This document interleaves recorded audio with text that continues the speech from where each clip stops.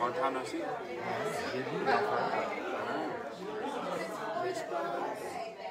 was your Christmas? It was good.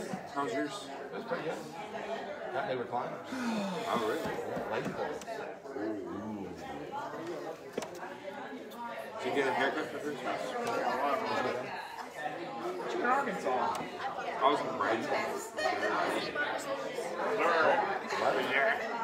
Sometimes you can you can make up some stupid silliness, and then sometimes you get what happened this morning. Oh, y'all I mean, that just that just dropped right in my lap out of nowhere. Because he, he was even like, "Oh, Lucas, I got a song for you. It would- And then he was like, It would have been slightly not as bad if he just had just started just boom on his phone. But this was gather around, He was children. messing around. he was, Like, he was why even like, you do well, is this the right clip? Uh uh, that'd be the end of this. I love it. Hang away way too much with Cam, Kobe and Cameron. What do you mean? I heard. I heard. About what? No, just, just walk. Okay. What are you about? What I do? What are you talking about? Something about me? Am I- Am I in it? Am I part of the story? No! And if so, I got something for you. So what's the deal with this silliness We're here? talk, talk, talking about, um, It's not on yet. Or even better. Good thing we didn't get this. What's the deal with this? This? Yeah, that thing, that thing. If I'm on this side,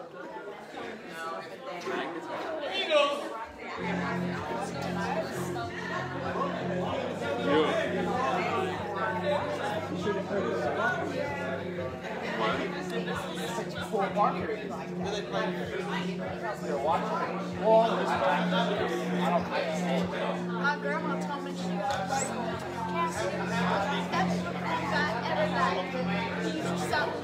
Grandma's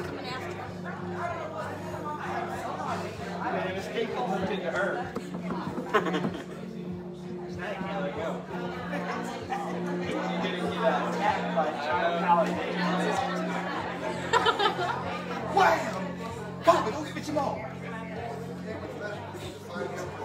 Oh, did you know that uh, my grandma was talking Megan's the most god thing I've ever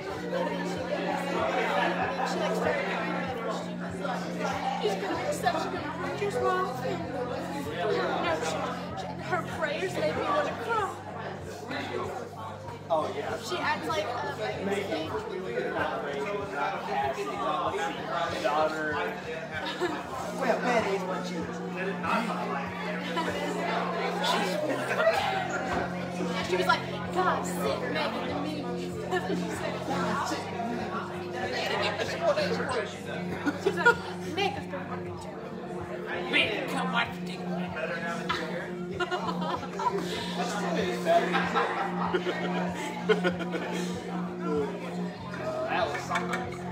You know, Kobe Megan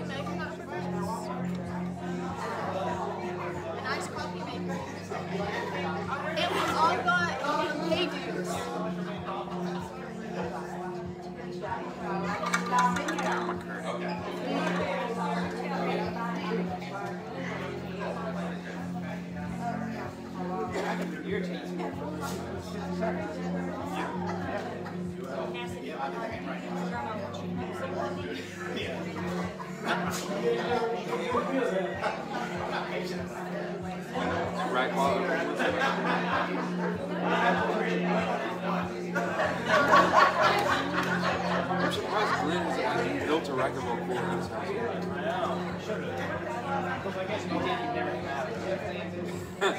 he would, yeah, he would stop watching. No more, no more uh, yeah, whatever it is. No, Columbo. It.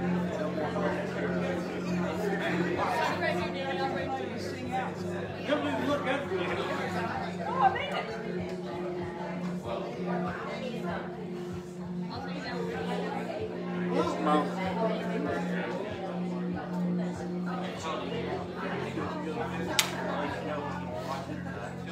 brother got an iPod. Yeah. Four of you is this right? They're all half fed. No. Well, one of them, one of them's eight, one of them's five, and one of them is uh, ten months old. But the eight-year-old got an iPhone and he can text me. I'm already about to block. Because he te- yesterday I didn't go to my dad's uh, for lunch. I went to my mom's stuff, and he was just texting me a play-by-play. Always happens. He's like, "We're saying grace. Oh, we're done. I'm eating. I'm almost done eating." I'm like, "Okay." No, he said my dad's gonna be like, "Why did you walk?" That what he sounds like? Yeah. You have to be old As as far as using the camera and stuff. I'm taking yours. Cat facts. Asher doesn't know about cat facts. Well, it's already back there. You know what cat? Ask Cameron for cat This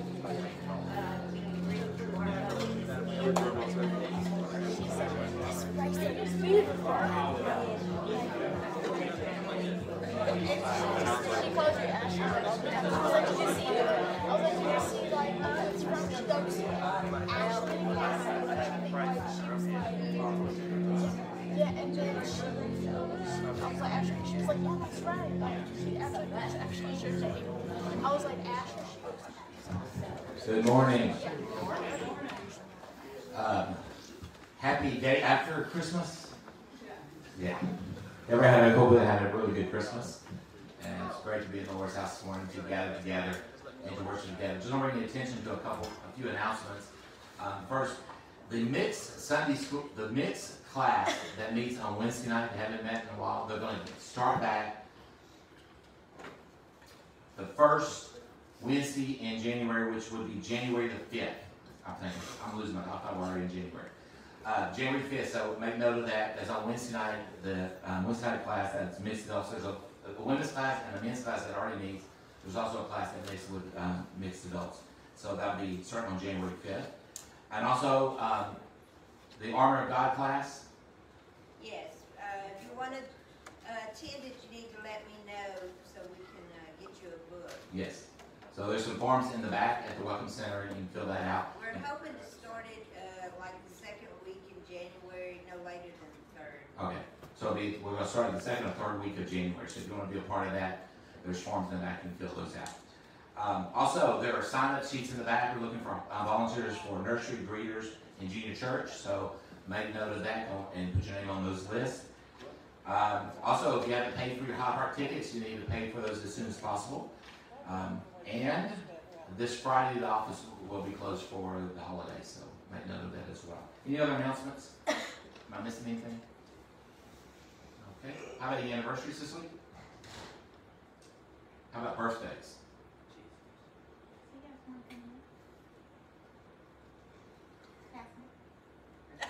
Birthday. Do you have a birthday coming up? Yes, How old are you gonna be? 15. Fifty-one. Fifteen. Are you excited? You don't seem very excited. Are you excited about being fifteen? Yes. Okay, let's see. Any other birthdays? Yes.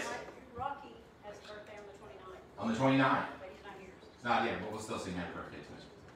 Any others? Okay, let's say happy birthday. Happy birthday to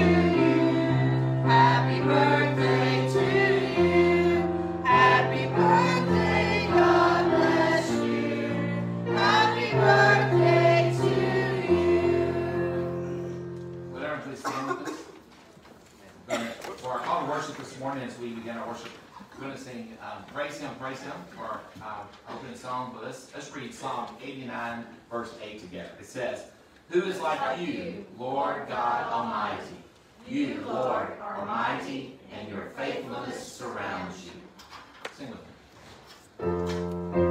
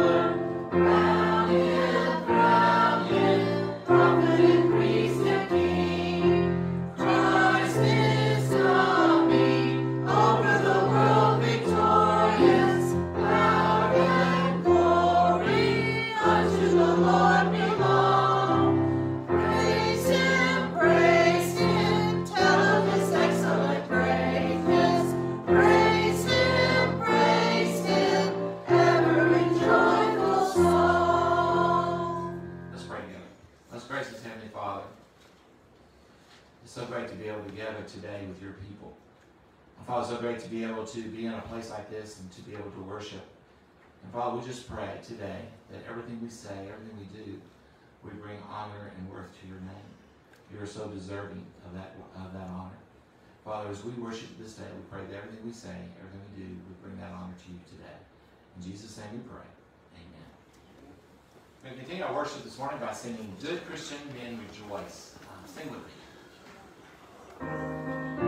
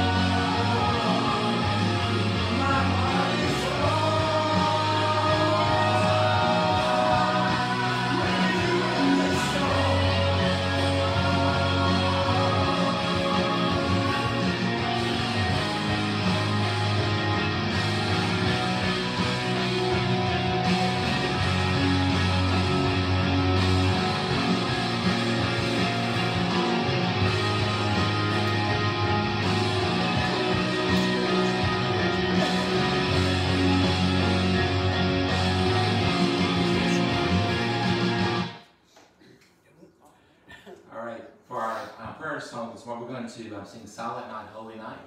Um, that is actually the last book we're going to look at here this morning as we uh, as we study this passage, uh, set the passages together. So sing with me as we prepare for our prayer time. If you have a prayer request, make, if you're thinking about that, we'll make note of that. And if you're online, you can also uh, just put in the comment section. We'll make note of it here in just a second. Let's sing together, Silent Night.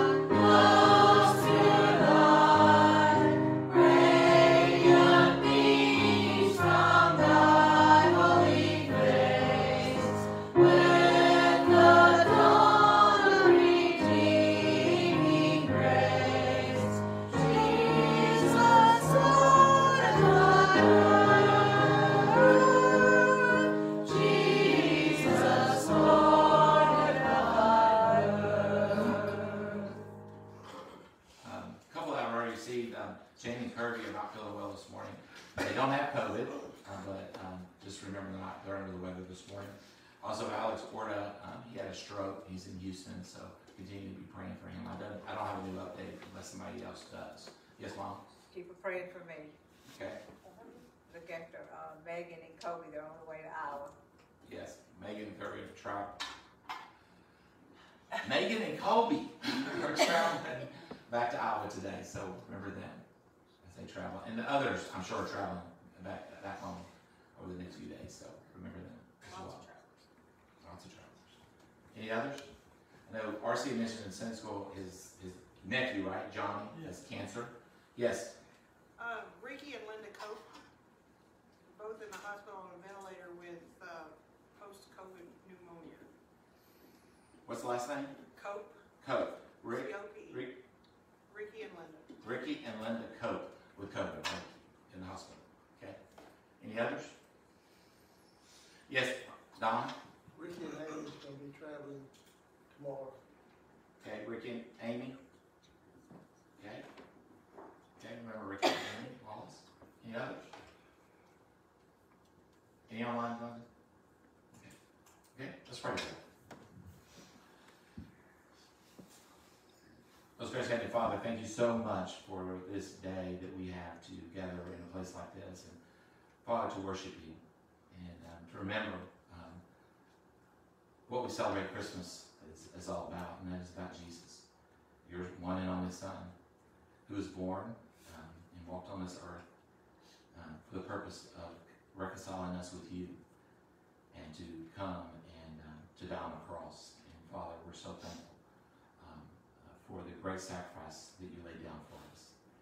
And Father, as we gather here today and we make mention of um, things that are on our hearts, we ask you to be with our missions, especially today, Lifeline. Continue to bless her and, uh, and just place your hand upon her and, and continue to guide her. Father, I ask you to be with those who have been mentioned here today um, that need prayer. Remember uh, my mom, Roberta, and Ricky and Amy as they travel, and uh, Megan and Kobe as they travel as well, and the others that are traveling. Uh, ask you to be with Ricky and Linda Cope, and uh, Jane Kirby, and Alex that all um, need your healing hands placed upon them, and we just pray today that you would do that. Um, you'll bring their bodies to healing. Father, there's so many times in our lives we just don't know what to ask for. And sometimes we just don't know what to pray for. But Father, we know that you know what each and every one of these requests, and the ones that maybe not even mentioned here today that are on our list, that are dear to our hearts, that you would intercede on each of the behalves and give them exactly what they need when they need it. And Father, we ask you also to be with us as we continue to worship you this day. Pray all these things in Jesus' name we pray. Amen. For time around the Lord's table this morning as we prepare for communion, um, we're going to sing um, Lead Me to Calvary together, and then we'll have a short devotion, and then we'll take communion together. So sing with me.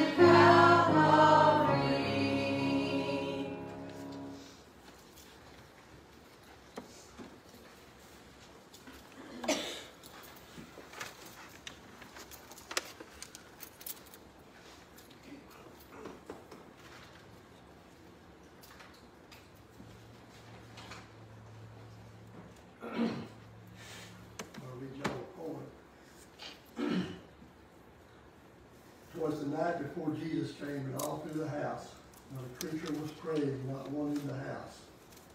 Their Bibles were laying on the shelf without care, in hopes that Jesus would not come there. The children were dressing to crawl into bed. Not once were kneeling or bowing their head. Mom in her rocker with baby on her lap was watching the late show while I took a nap.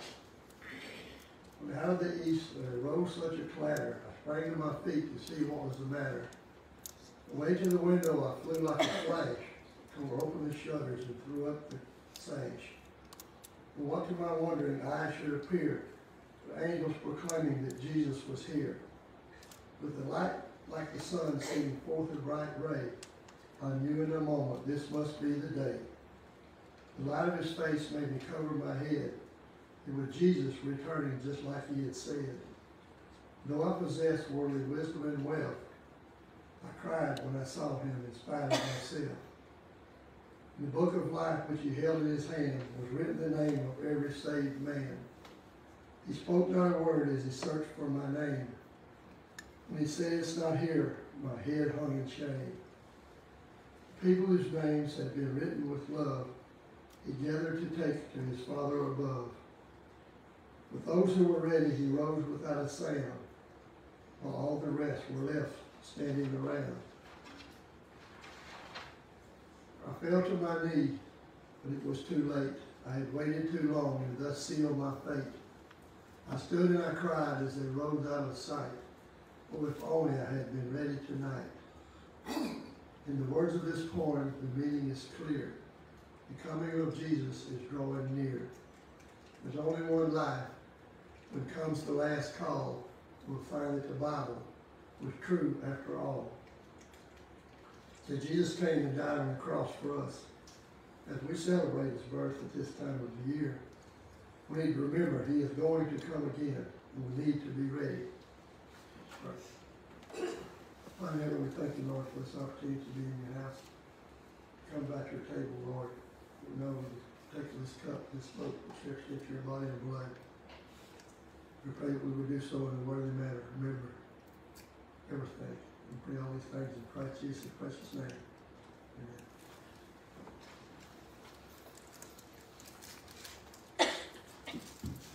Take the elements together now, so you'll take the, the bread. As we take this together, just remember Jesus' body. It.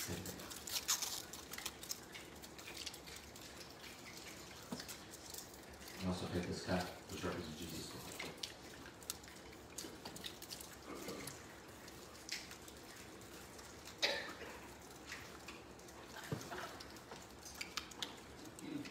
We're also gathering source today to um, also worship uh, the bringing of our tithes and offerings. So today, as we do that, um, offering plates are still in the back of the auditorium. If you haven't already put your offering in it, you drop that in as you go out today. Those online or you don't have it with you today, you can um, use the church website. You can um, use your own bank. You can uh, mail it here, or you can bring it by sometime this week. So let's pray for our offering now as part of our worship. Most gracious Heavenly Father, uh, thank you so much for Jesus. And it's because of the relationship we have with Him that we gather in a time like this as we worship by bringing back a portion of the way you have blessed each of us. And Father, especially as, as, as Christmas has passed and as we remember the great gift you gave us, Father, help us not forget the gift that, um, that uh, you've given us and, Father, how we can give back as well. And as we do that here today, we ask you to bless those who are able to give, those who are not. Father, you would take those gifts and you would multiply them and you you, um, give us wisdom and knowledge to know how to use that for the building up of your kingdom. Father, we pray all these things in Jesus' name. Amen. Kids, right? Okay.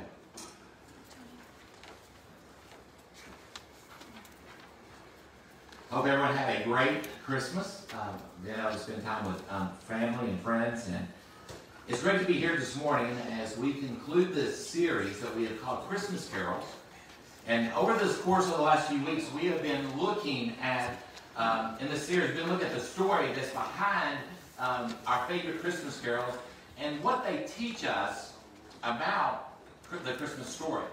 Time Magazine did a um, survey, and they wanted to find out what the most popular Christmas carol of all times was.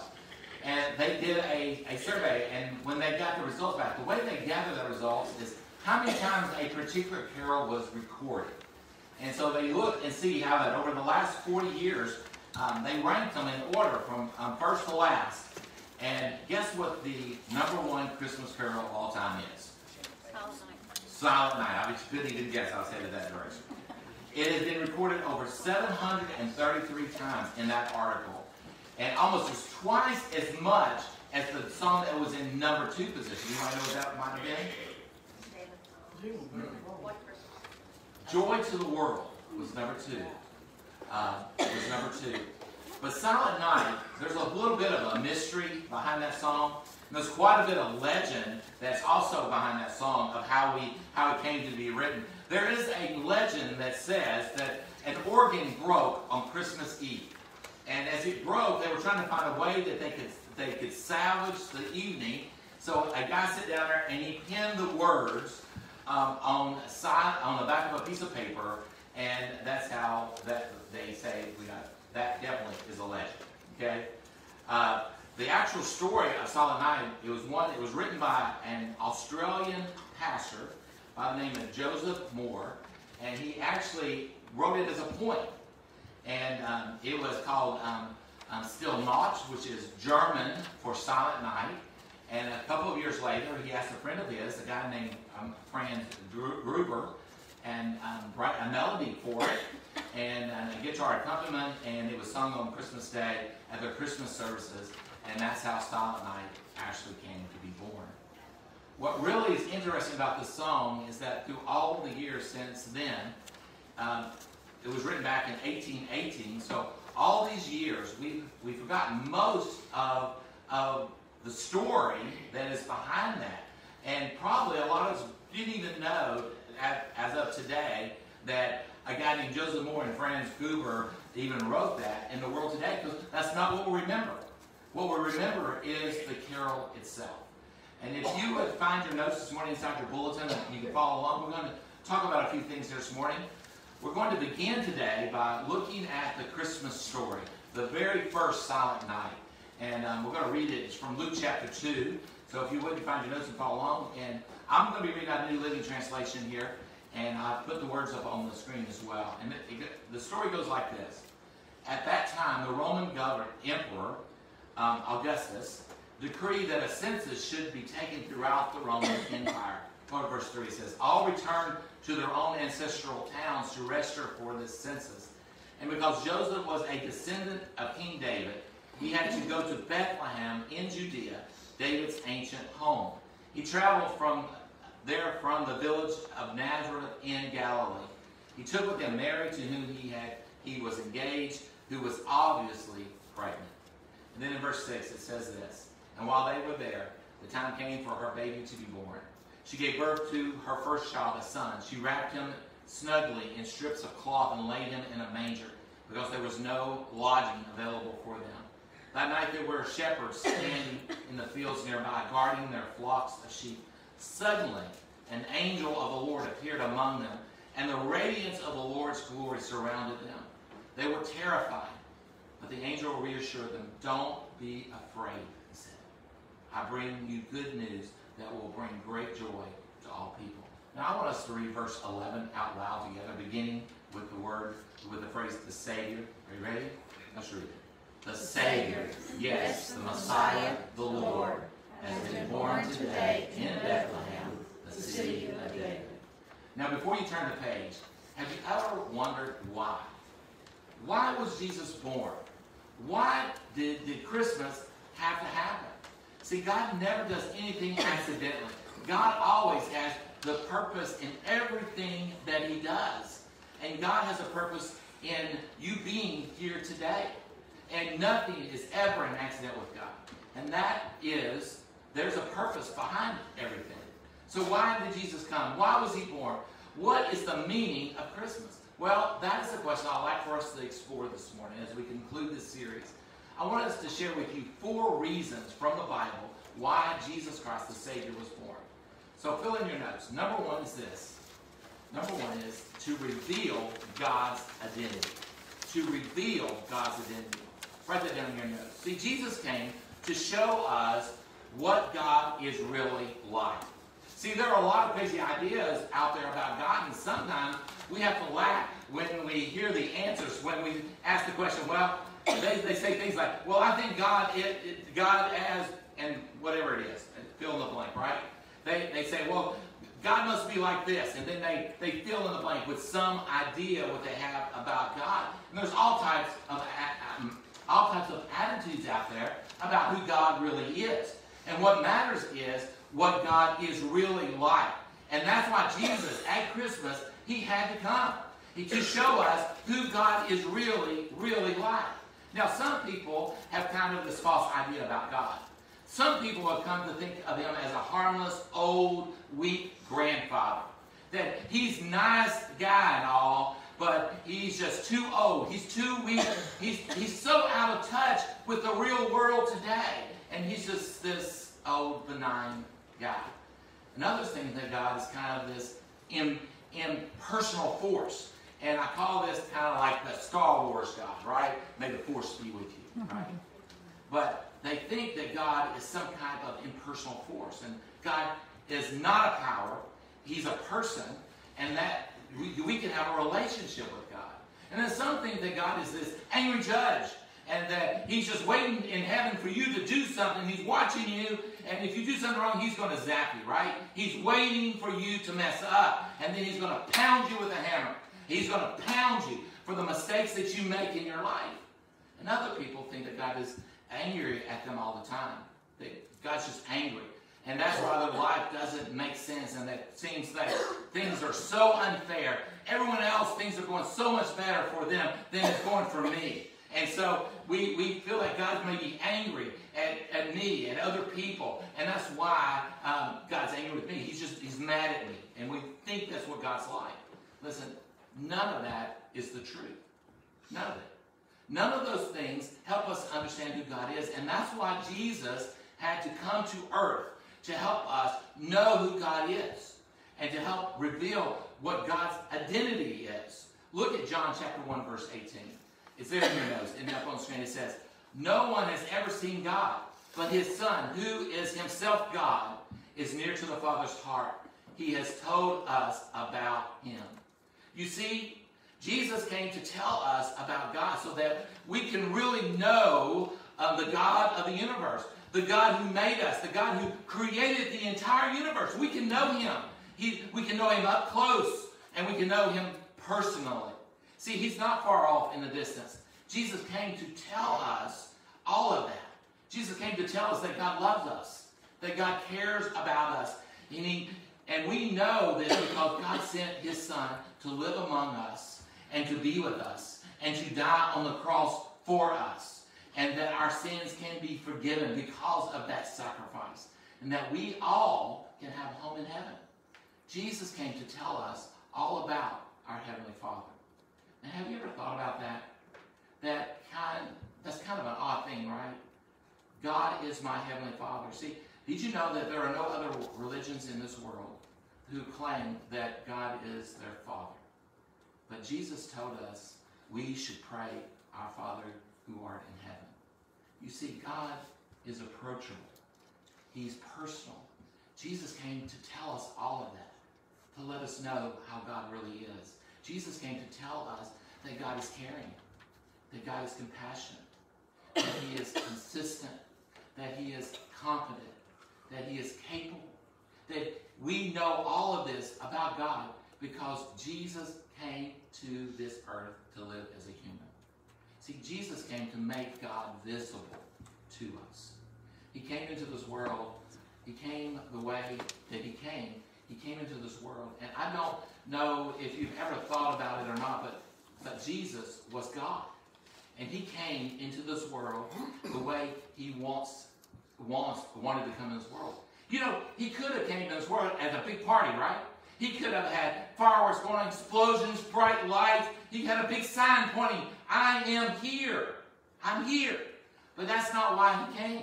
He didn't come, he didn't come to scare us into submission, right? He could have scared the living daylights out of all of us so that we would, would, would worship him only.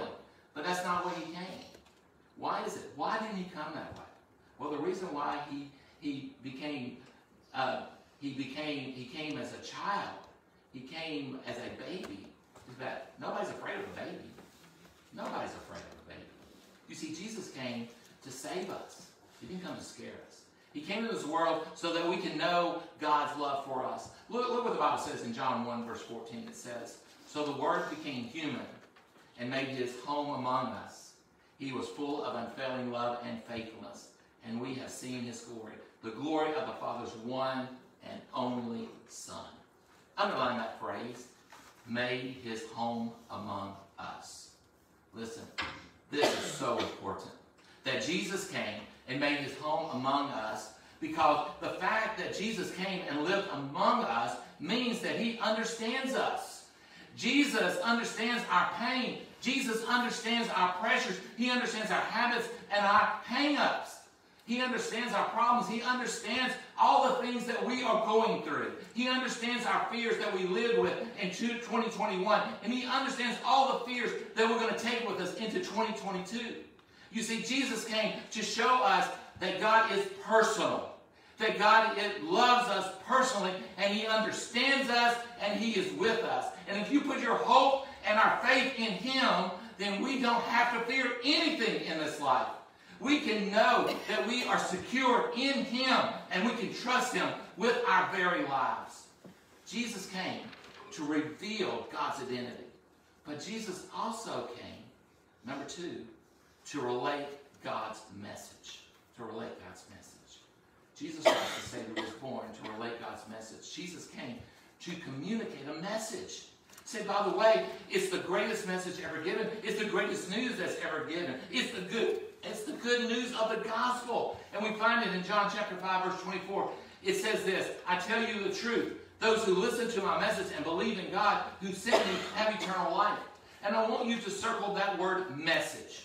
Because Jesus came to share a message. A message of hope, a message of redemption, a message of how our lives can be changed and our relationship with God can be restored when we put our hope and our faith in Jesus Christ as our Savior and the leader of our lives. But then I want you also to go back and I want you to circle the word truth on that same line. And then draw a line between truth to the word message. Because the message that Jesus came to communicate is the truth. It is the truth. No, nowadays, we don't know about if we should believe anything, right? We don't know. We, we don't know whether we should believe a person or the person, um, this person or that person, or the news or the TV or our news. We don't know. We, with the internet, anybody can literally go online and post anything they want, whether it is truth or not truth. And what, what is scary about that is a lot of people believe it. They'll believe it. People, because people are searching for truth. They're looking for truth. And where can I find truth in a world that is so full of lies? Well, if you want to find truth, you find truth in Jesus Christ. Look at what Jesus said in John 14, verse 6. It says this, I am the way, the truth, and the life. No one can come to the Father except through me. Notice what Jesus is saying here, because this is a verse that you have to decide. You have to decide what you're going to believe. See, this is a dividing line verse. Jesus says, I am the way. Jesus didn't say, I am a way. He didn't say that. And he didn't say, I am one way. And he didn't say, I am a good way. And he didn't even say, I am the best way. Jesus said, I am the way. I am the only way to God. I'm the only way to heaven. And that forces a decision between either Jesus or who, who he says he is, or today all around us, billions and billions of people are, are, are celebrating if, if, if he's not the truth, they're, faith, they're celebrating a fake, a phony, a fraud. See, Jesus said, I am the way. But he also said, I am the truth. And he didn't say, I'm part of the truth. He didn't say, I'm a half truth or I'm a truth. he said, I am the truth. I embody the truth. and no one comes to the Father except through me. Now the problem is sometimes I don't accept, I do not want to accept the truth. If the truth is inconvenient or it doesn't meet the standards that that I think it should, I don't think they're the best standards. Well, I'm not very happy with that truth. So I kind of go wherever I can find the truth that I really like. I because I want to own the truth. I say, well, you know, I think it must be like this. You hear this a lot, right? I think it must be like this. But no, but the Bible says that Jesus is the truth. And when you know the truth, the Bible says it sets you free. In fact, knowing the truth is like turning the light on in a dark hallway. Have you ever tried to find yourself while you're stumbling in the dark, finding your way? Last night, you know, I wrote this earlier in the week. Last night, all the lights were out, and I remembered something. And so I said, I'm not going to turn my lights on. I'm going to go. What I've forgotten is that we have extra tables in the dining room right now uh, because of the meal yesterday. And before I knew it, bam, smack into that table. Uh, because there's something there that I didn't know was there. And I was stumbling around in the dark, trying not to turn the light on, but I let the time turn the light on anyway, because I like to kill myself. But listen, I don't know what kind of dark world that you are in right now, but I do know that Christmas time and the holiday season, it can be one of the darkest times in some people's lives. We live in a world where this can be a very hard time. It could be a hard time for people financially when they have financial problems. Or maybe they're having marriage problems. Or maybe they're dealing with some type of physical health issue. Or maybe an emotional issue. Or maybe a relational issue. Uh, maybe you're going through this Christmas all alone and you've never been alone before. And you're facing this one without a dearly loved one. Listen, I don't know what dark you are going through right now, what dark world may you may be living in right now, but I do know this. This is the good news of Christmas. Jesus says, I can bring light into your dark world when you trust me as your Savior, when you trust me as your leader. Jesus came to show us what God is really like, reveal his God's identity. Christ, the Savior, was born to relate God's message. And then across the page in your notes, Jesus Christ, the Savior, was born to recover God's creation. Jesus came to recover God's creation. To explain this, I like to go back to the beginning because the Bible says that when God created the earth, this was a perfect place. There was no pain or problems. There was no sorrow or sin. There were no toils, no trials, no troubles. Everything was perfect. But when Adam and Eve sinned, sin entered our world. And our world was broken.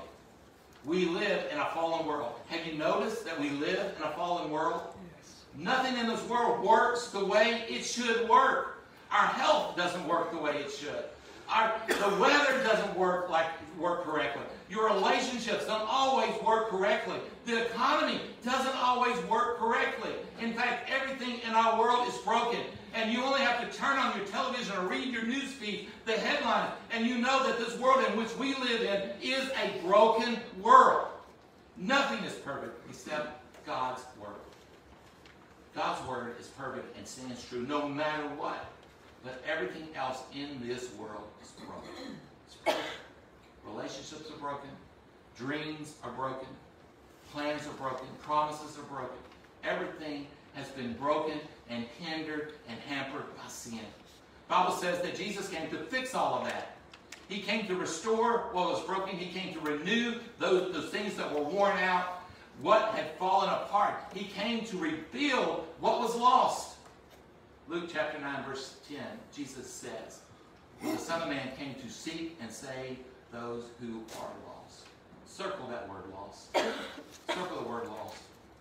You know, it's because who are the lost? Well, the Bible says that we're all lost. And because sin separates us from God, we're all lost. Some people, they don't like that name. They don't like that name saying they are lost. They don't want to be called lost. They think that being called lost actually shows a lack of respect, but it's actually quite the opposite. You see, lostness implies value.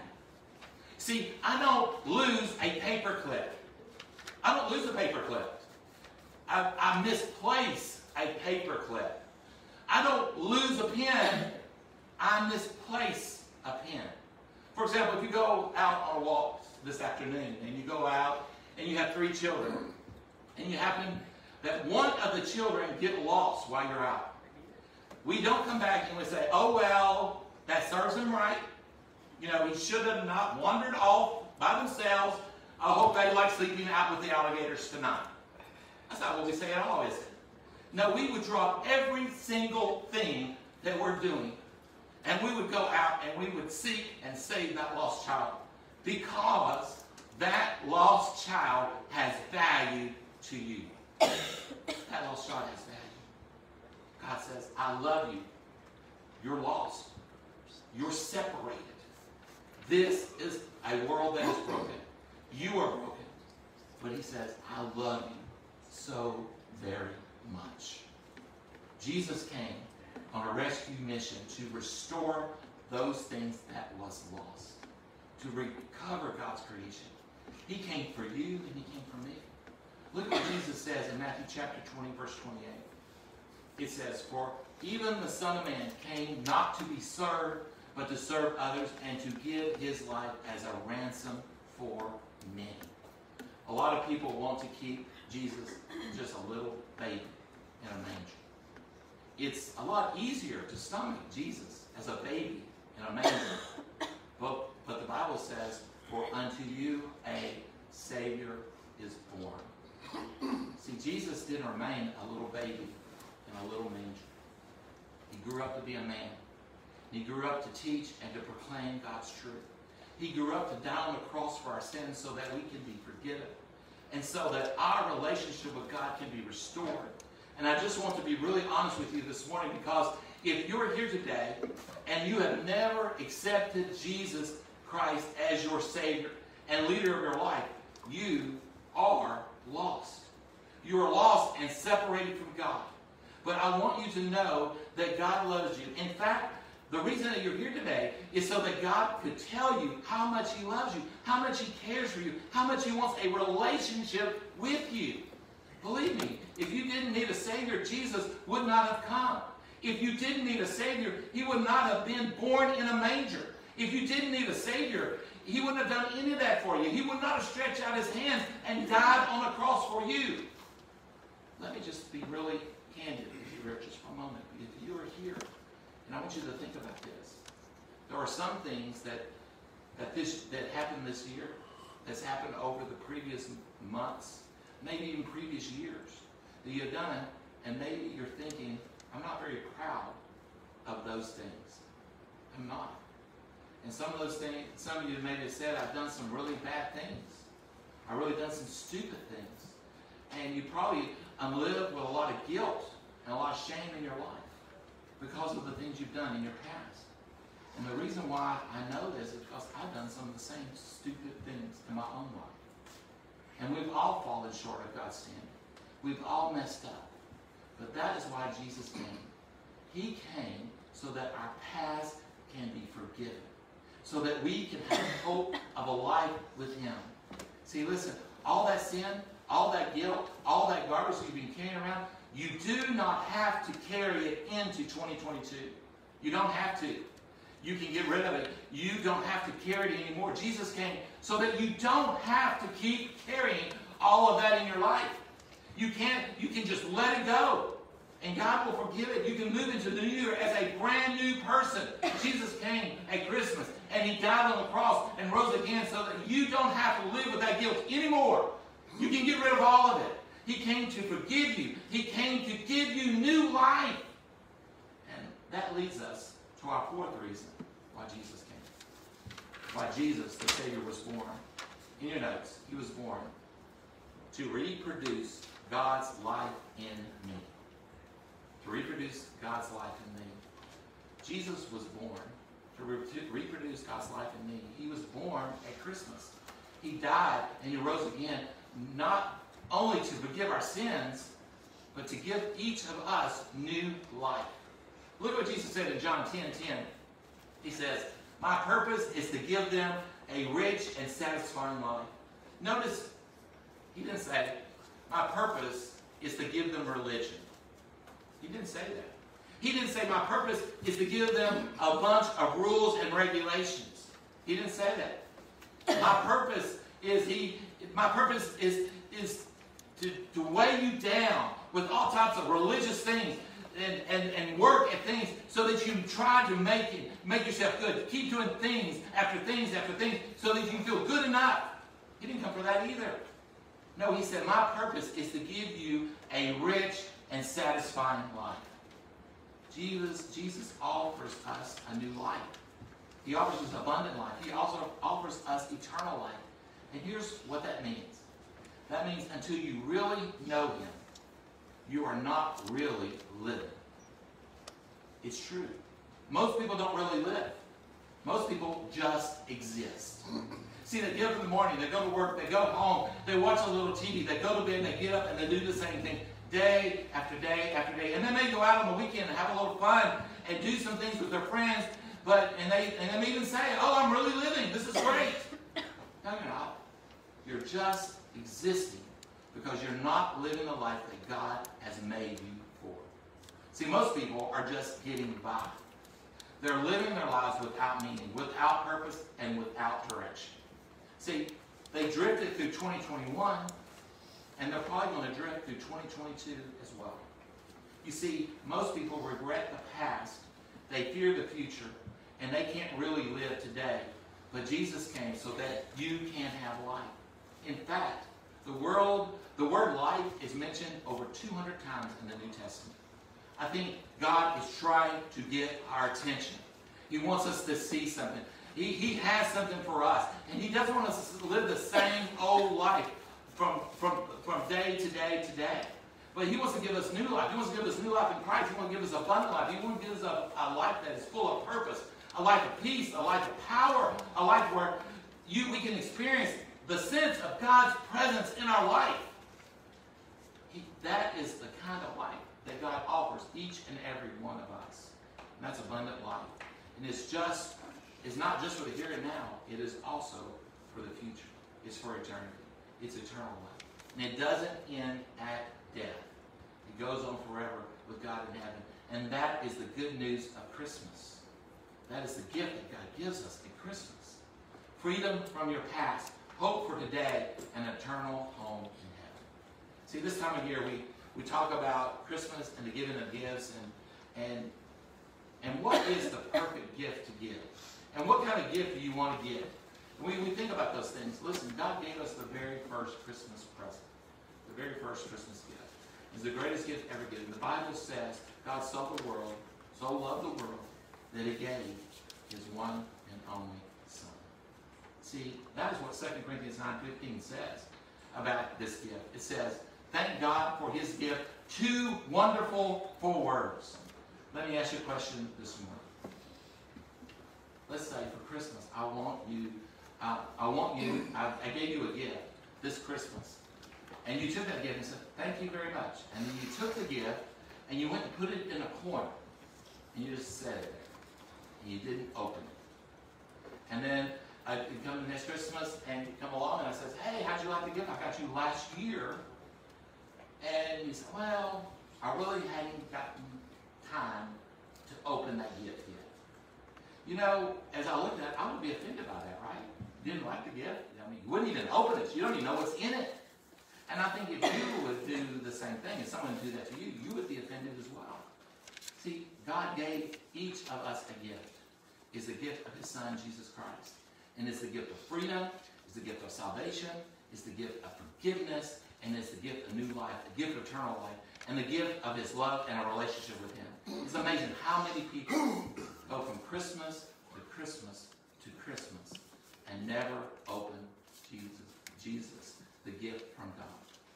God's gift to us, His Son Jesus Christ, is a relationship with Him. If you haven't opened that gift, if you have never opened that gift, you're missing on the real purpose of Christmas. The purpose of Christmas is that God sent this gift to you and to me. He gave us Jesus Christ.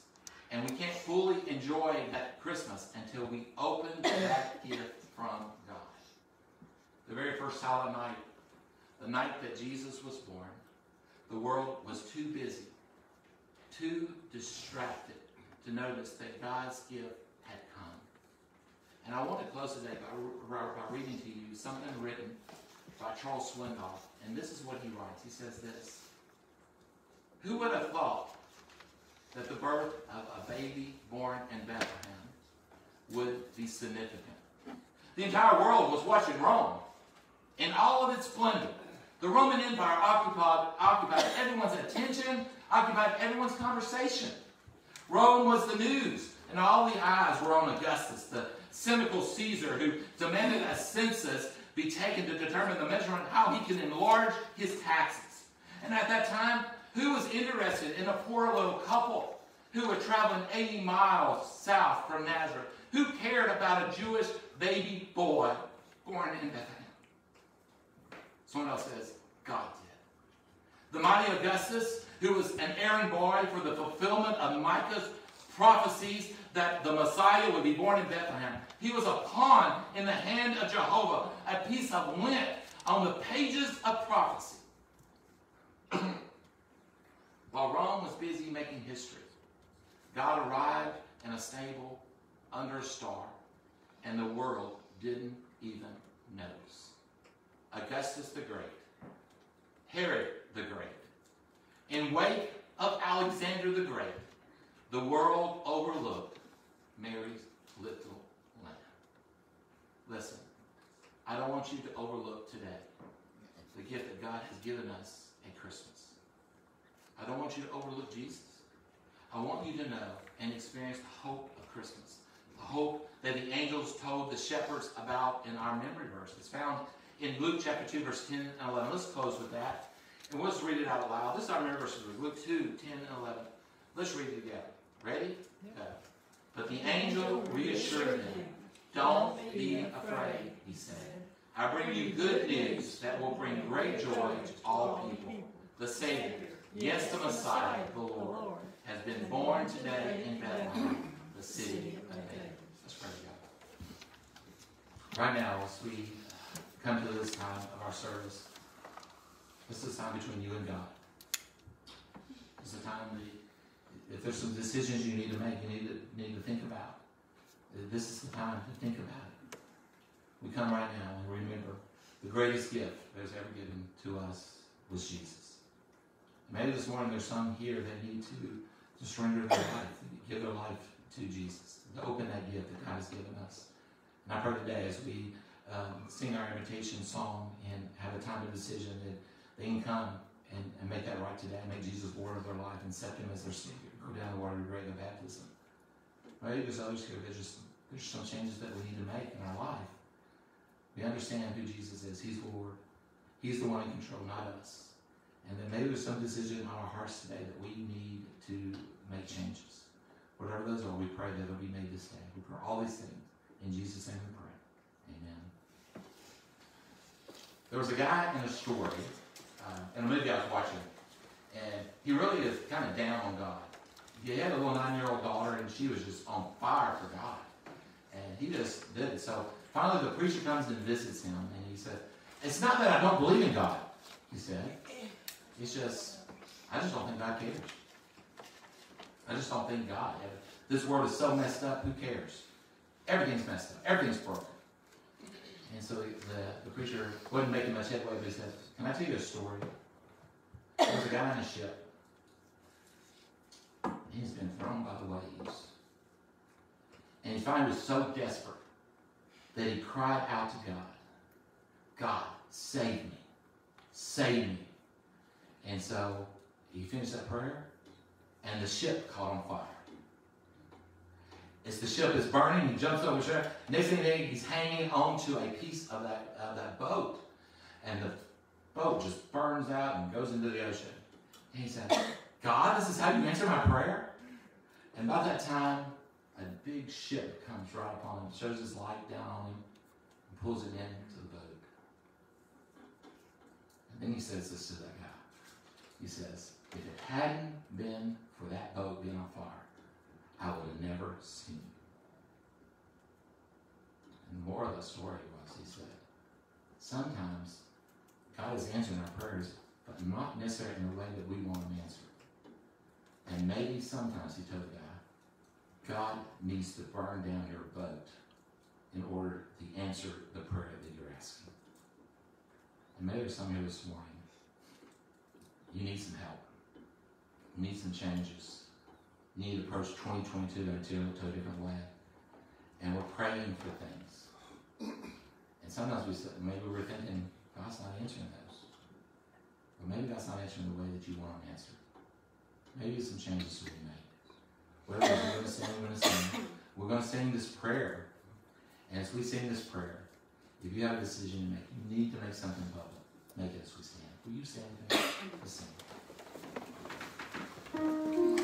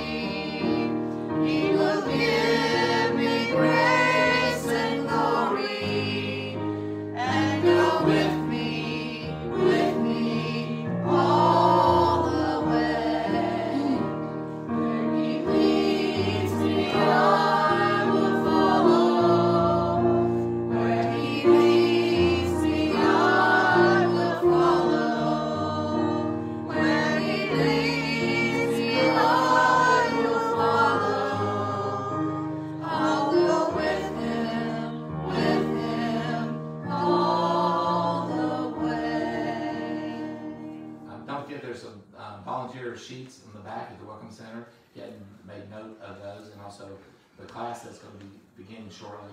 Make note of that as well, and come by and, check that out. Let's close with prayer.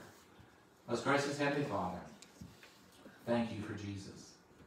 Uh, thank you for loving us so much that you would send Jesus, and we're so thankful um, uh, for the difference He makes in each of our lives. So, Father, now as we leave this place, we ask you to be with us till we meet again. We pray all these things. In Jesus' name we pray. Thank you.